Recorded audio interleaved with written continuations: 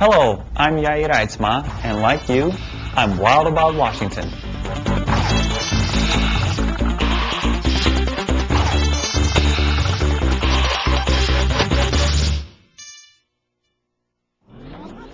For generations, a tidal area in Hood Canal has been a farm. That all changed one recent day when a big yellow machine took down the dike that has held back the saltwater, and the process then started of turning this area back to its natural state.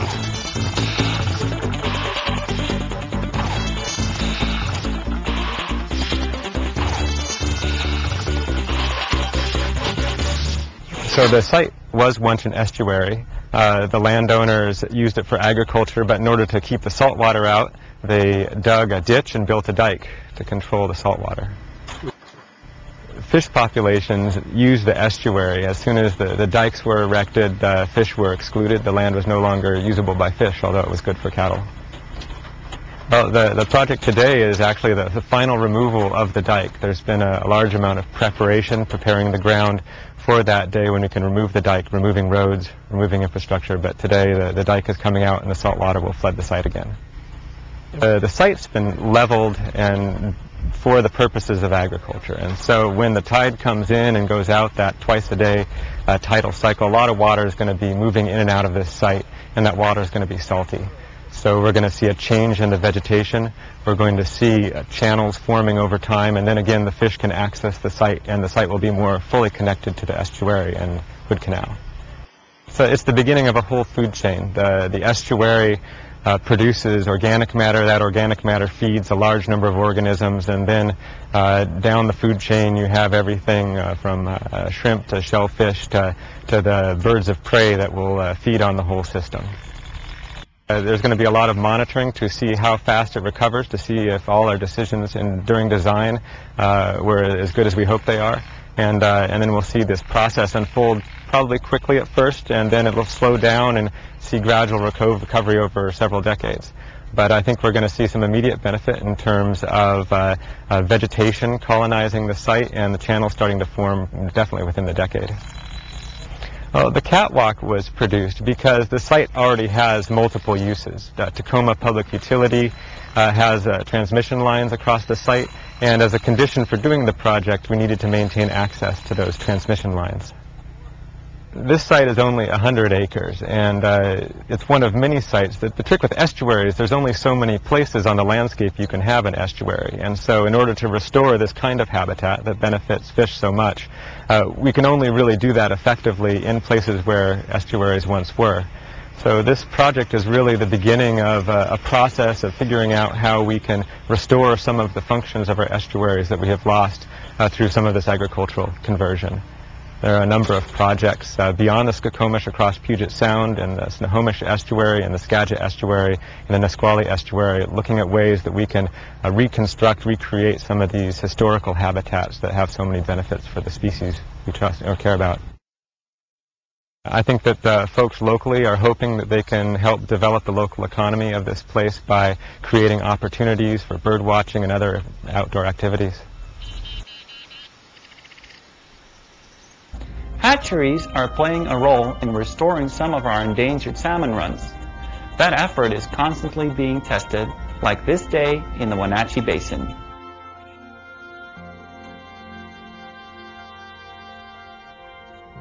The objective of all the supplementation programs in the Wenatchee Basin and throughout the Upper Columbia is to supplement the naturally uh, the natural runs of salmon and steelhead. The supplementation programs have been operating since 1989, and this study is one of the more um, intensive studies that are currently ongoing throughout the Columbia Basin. Supplementation programs are designed to supplement um, the natural runs and eventually bring those runs up to sustainable levels so that we can have plenty of fish in the future available for um, harvest and for future generations. We're examining one of the main critical assumptions involved in supplementation, and that is, do hatchery fish that are progeny of wild broodstock, do those fish produce offspring at a similar rate as wild fish that have not been brought into the hatchery? And if that is the case, then the supplementation programs will eventually meet their objectives assuming that other uh, limiting factors are also addressed. Um, hatchery programs are just one of the tools that the department and the other co-managers use to help increase the survival and increase the abundance and productivity of these stocks. What we try to do on the spawning grounds is 100% of the spring Chinook at Tumwater Dam are, are pit tagged. Pit tag is a small microchip tag similar to what's used in people's pets or cattle. And all these fish are pit tagged. And what we try to do is once a female uh, salmon has is spawned out and is simply just guarding her redd, the nest, we try to carefully sneak up on those fish and record the pit tag number of that individual. Um, once that is done, then we take a lot more series of measurements on the redd itself, on the salmon nest. And we want to make sure that we can compare how wild salmon and hatchery salmon are constructing their nests. And some of those factors may be important in their subsequent survival. So we look at the velocity and the depth and how deep the redd is created and how big the nest is. And we compare those data for hatchery fish to, to wild fish.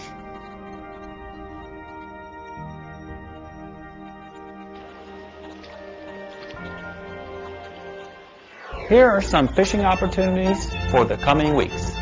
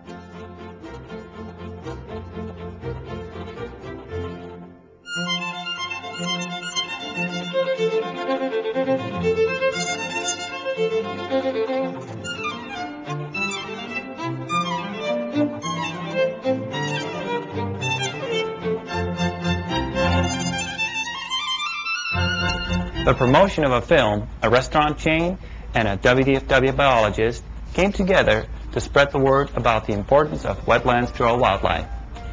What you're about to see you might think is unusual. However, Ken Bevis isn't your ordinary sort of guy.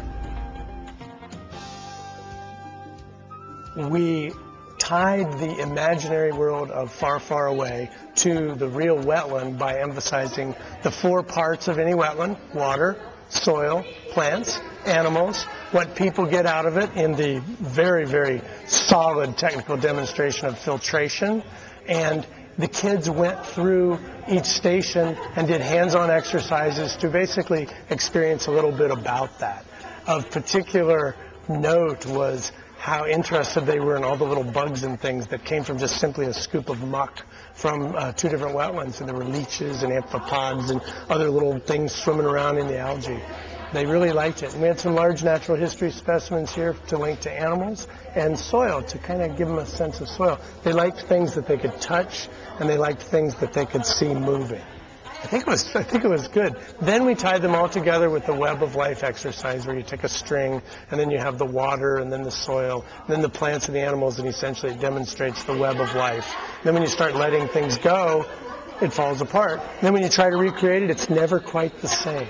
So it's a real graphic visualization of uh, ecology.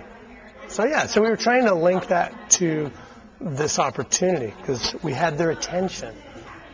I'm a habitat biologist that works in all kinds of different habitats, including wetlands. Even though environmental education is not in my immediate job description, I think every chance we get to communicate with people about the value of habitats and species, we should take it. Um, I like to do it, and I do it every chance I get. So I think it's an important part of our job. It's not but we should do it, and we need to do more of it. The particular challenge of this thing, too, was we couldn't go outside to an actual wetland, so we had to bring the wetland to them. And so uh, my car is really full of a lot of stuff. I think it's important that the Department of Fish and Wildlife recognize that outreach is critical if we're going to make much progress in the future. Young people, uh, adults, everybody, and we have to work at crafting our message to each different group given whatever opportunity. So when we have an opportunity, then we should take it. And here I am. I didn't want to pass this up. Right. Are you sure you don't live in a swamp? Is this a wetland place? I live in a swamp. Now for something completely different. You won't believe this. You can believe that Washington offers great hunting and wildlife viewing opportunities.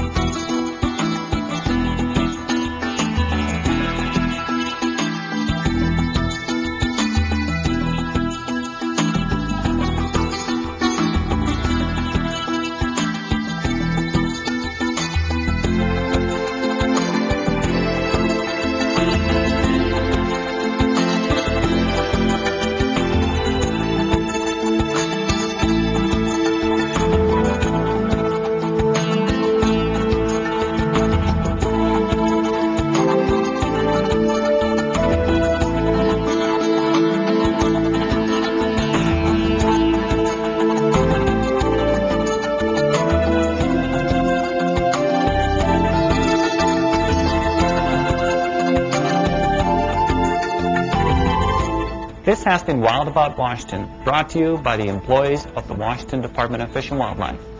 Working together, we can save Washington's outdoor heritage for future generations. Thank you for watching.